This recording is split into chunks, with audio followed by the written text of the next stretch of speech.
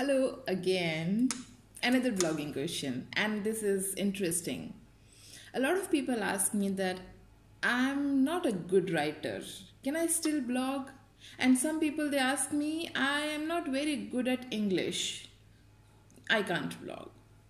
Actually, you can.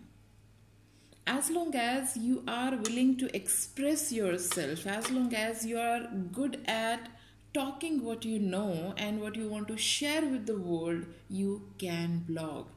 It is not necessary to blog in English always. There are a lot of people who are waiting to to see and to hear good information they need in the native languages as well in hindi or whichever language uh, you have in your target audience. So it, it's absolutely okay if you are not good at English, just start blogging in whatever language and whatever niche industry you are great at.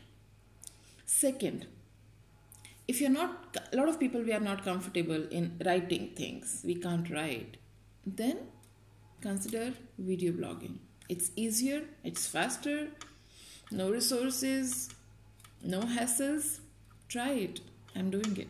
You're getting my answer. You're hearing it. You're watching me.